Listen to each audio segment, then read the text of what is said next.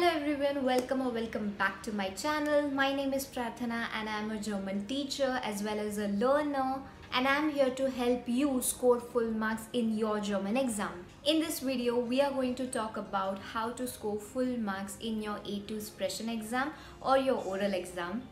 I have made similar video in the past uh, for A1 level and that video helped a lot of people to score good to full marks in their Sprechen exam so I thought why not make something for you guys as well. This video is the continuation of series prepare for your A2 German exam. I have made a video regarding what all resources you need to prepare for your A2 German exam. If you like such videos, give this video a big fat thumbs up and subscribe to my channel if you haven't already. And now, before further ado, let's jump right into the video. Okay, so first let's see how many parts or how many Teils you have in your oral exam. Your oral exam is going to be divided into three parts or three Teils if you like to call it that. The duration for your Sprechen exam will be around 15 to 20 minutes. The Teil 1 or the part 1 of your oral exam will consist of question and answer round. This will be for 4 marks your Teil 2 consists of speak on a topic. This is what I like to call it. You have to speak on a given topic and this will be for 8 marks. And lastly, your Teil 3 will consist of timetable which will again be for 8 marks. Next, in your A2 exam, there will be separate 5 points. Remember separate five points for pronunciation. So you need to level up your game when it comes to pronunciation. So in total if you add up it goes for 25 marks. Thus your Sprechen exam is going to be of 25 marks. Now your Teil 1 or your part 1 consists of question answer round. In this round you're going to get a set of flashcards and you have to pick four flashcards. Basically you have to pick four flashcards and uh, the flashcard will consist of one word based on which you have to ask question to your partner. When I say ask question to your partner, I only and only mean ask WH question. So, because you have four flashcards, in total you're going to ask your partner four different types of questions based on four different types of words. For example, I have the A2 paper right here and one of the word is Schule. So you can ask, Wie heißt deine Schule? What is your school name? Now, once you have asked question to your partner, your partner will answer that question. Similarly, it will be vice versa. Your partner is going to ask question to you and you have to answer it. Now, remember while answering question, especially for A2 level, you have to level up your game. So, you cannot answer the question in just one word or even one sentence.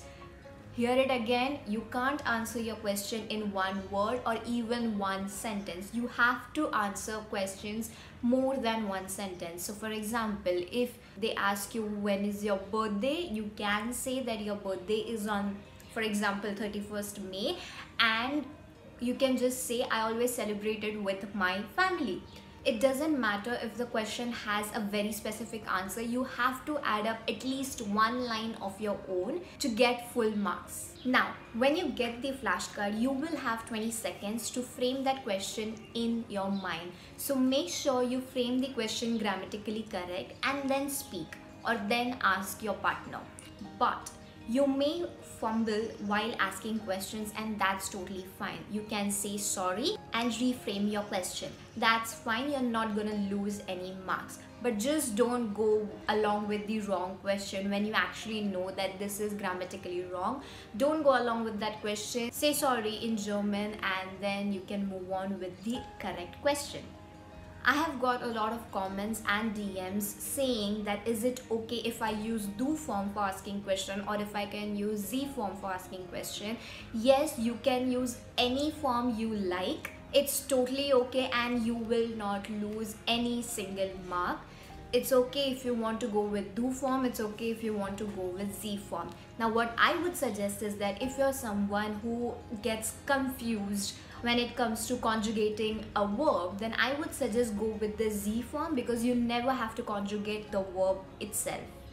That means you're not really going to lose any marks because you're not going to make mistakes while conjugating that specific verb.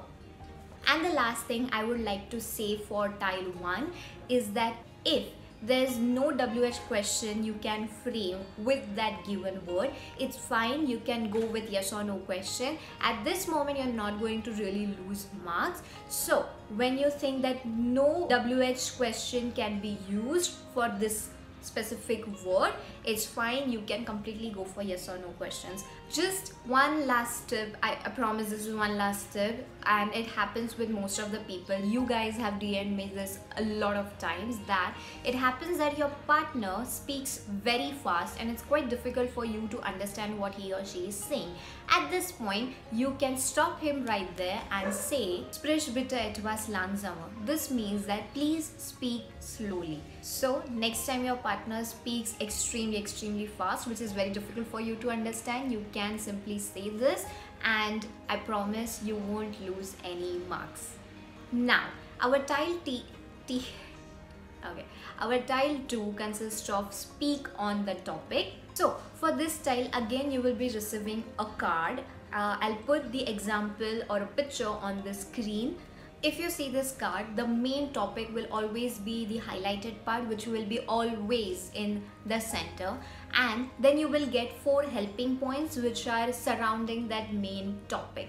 Now you have to speak on the given topic. It's basically a monologue and the topics are very general. For example, what are you doing on weekends or what do you do in your free time? What do you do for your health? What do you do with your pocket money? So basically everything that you do daily or your day-to-day -day activities all those topics will be included in this Teil. So for example, uh, I have a paper right here and the topic is was magst du oft am Wochenende.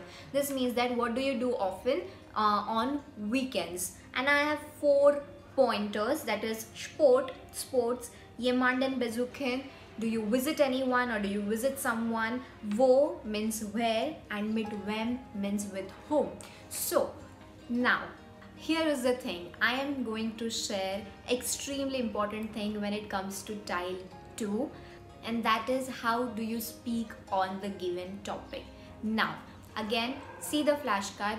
Remember your main topic is the one which is in the middle. It can be in the form of question and it is always highlighted now while starting a topic, you have to start with the main topic. You have to say two sentences on the main topic. It can be anything in general.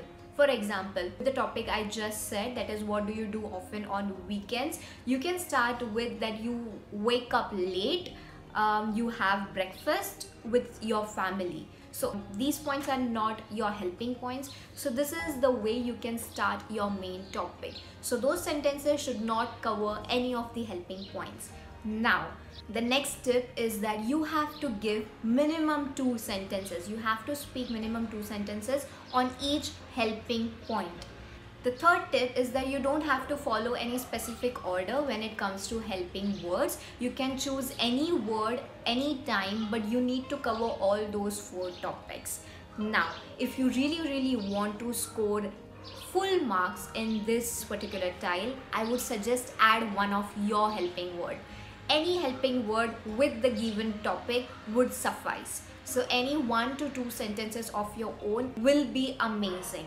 And at the end, you can concluded that you have a lot of fun in your weekends or um, it's the best day of your week. These are the best days of your week. Anything that will clearly conclude your topic.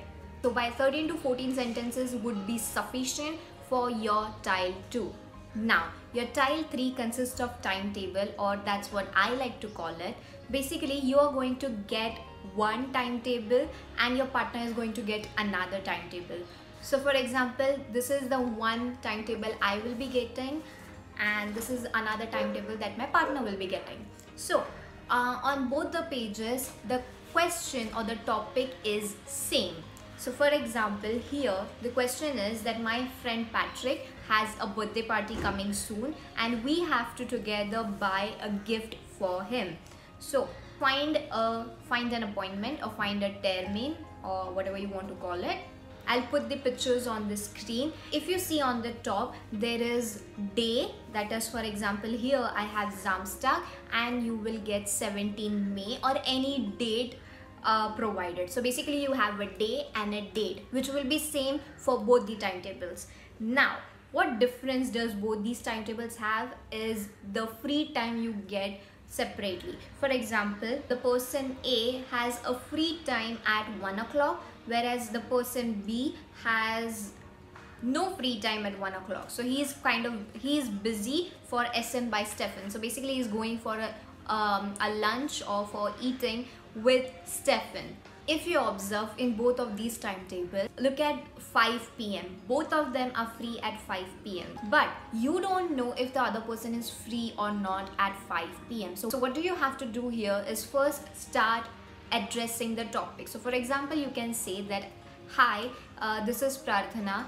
Uh, how are you? Then the other person will reply to your question. Then you can start with the actual topic that hey our friend patrick's um, birthday is coming soon so we need to buy a gift for him.